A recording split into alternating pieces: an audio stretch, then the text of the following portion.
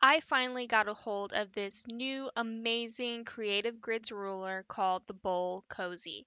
Now, there are hundreds, if not thousands, of Bowl Cozy patterns out there, and they mostly all use a paper template. So, to be able to have a acrylic ruler is an amazing thing. Now, this ruler does have two sizes, your standard everyday cereal bowl style and a larger one that can become like a fruit basket or a candy basket for Halloween since that's around the corner. I will have a link for you down below in the description. And also, if you click on that link and purchase the ruler from that store that I trust and have also purchased from this ruler as well, a small percentage will go towards the channel and I would highly appreciate it. Now, what is also neat about this pattern is the instructions are written on the back. So do keep that just in case you have never made a bowl cozy before. And the cutting instructions are also written on the ruler itself too. So I am so excited about this ruler and we will be making the smaller bowl cozy today. Now for the smaller bowl cozy, you will need two prints that are 11 inch squares. I have this cute fat quarter bundle that does match my kitchen decor. So one fat quarter bundle can make one bowl cozy. You will have leftover fabric scraps and it will be one color, which isn't as fun as two colors. So I'm going to pair up some fat quarters and I will select my favorites and make a two print version, which is basically going to become a reversible bowl cozy. Also, please note that when you are selecting your fabric, make sure it is all 100% cotton. I cannot stress this part enough. Warning. There are really cute metallic fabrics out there right now, but metallics are not microwavable safe.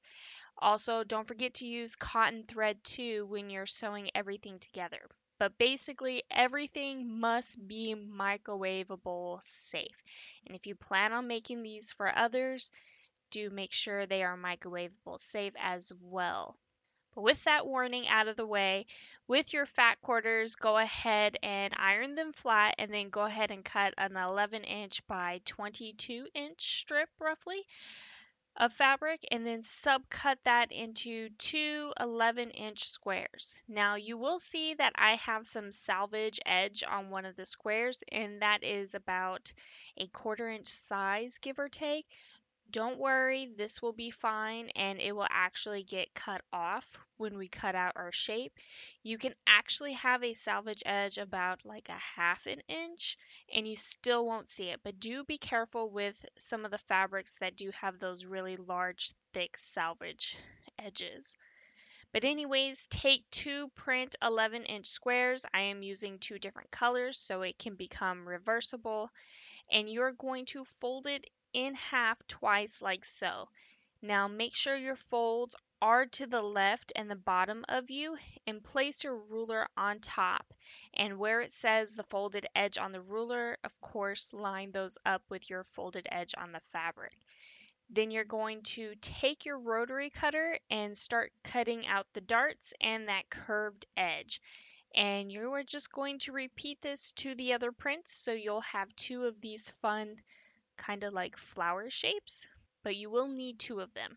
Next, you will also need two 11 inch batting squares as well and double fold it just like your prints and cut. Now, cutting around that curve can be tricky with batting because your batting is thick and fluffy and it's just not nice or that easy but do take your time and go slowly around those corners. And if you are still struggling with your batting, they actually do make a pre-cut batting bowl cozies, which are basically batting squares that are already pre-cut for you. I will also have a link down below in the description for you as well. But once you have two battings cut out, take one and lay one of the prints directly on top. Now, there are a few methods and ways we can go about this when we start sewing everything together. Method one is you can pin everything down and hold it in place, but I tend to always prick myself with the pins when I start making the bowl shape, so I don't like to do that way. Method two is to sew 1 8 of an inch all the way around the edge, but it is important to make sure that it is 1 8 of an inch so that way it will get hidden later on when we complete the next few steps. Now I'm going to go ahead and do that to one of these just to show you what that looks like. Now I did the 1 8 trim all around the gray, hopefully hoping you can see it more clearly, but it is a little difficult to see on camera. But trust me, there is one eighth of a seam allowance all the way around. And last but not least, my favorite method is to just iron the two together with some steam. Once you iron them together, it's kind of like it sticks together like magic. But do not use a spray adhesive. Don't do it. But anyways, after you're done, whichever method you prefer, you're going to take the darts and place them right sides together and you're going to sew them with a quarter inch seam allowance. Now once you sew all of your four darts together, you will start to create this bowl-like shape and we are almost done. So go ahead and take one of those bowls and turn it inside out or right side out basically the opposite of the other bowl cozy. And you're going to place them right sides together so the batting will be on the outside. And you're going to match all of your dart corners together. And then you're going to take it to your sewing machine and sew a quarter inch around. But do leave a two inch maybe three inch opening give or take so that way you can turn it right side out later. Now, I like to leave the opening after the curve, like it's heading down towards the dart corner area, because closing the opening later on a curve is a little difficult for me. But do whatever is easier for you. Once you've done that, go ahead and turn it right sides out and depending how big you left your opening, it will determine how easy this will be. The smaller the opening, the harder it will be to turn out. But once the bulk of it is through, I like to place my fingers within that opening and kind of curve out those edges and the corners. Now there is a tool called the purple thing. That's literally what it's called. And I hear that helps and everyone loves it, but I sadly don't have one. But you can also use the end of a pin or a pin cap just to get those corners rolled out. But once it's all rolled out and right side out, I like to take it to the iron and iron those curves down flat because it's going to help us when we start sewing around.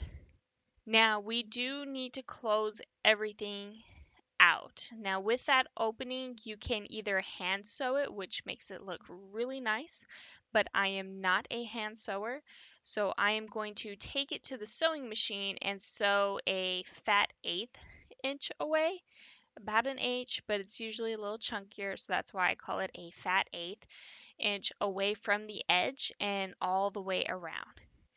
And ta-da, here it is. It came out so cute and these are so quick to make. This also makes great gifts around the corner for the holidays.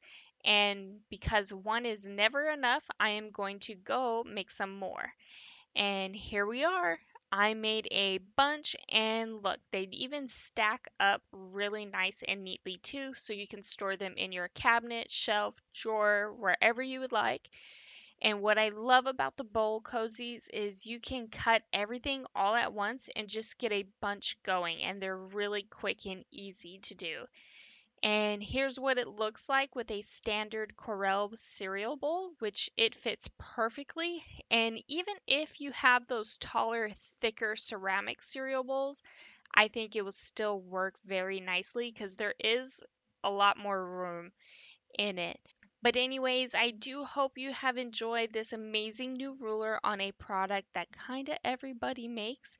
But if you could please take a moment to hit that like and subscribe button, hit the notification bell so you can be notified for your next amazing project.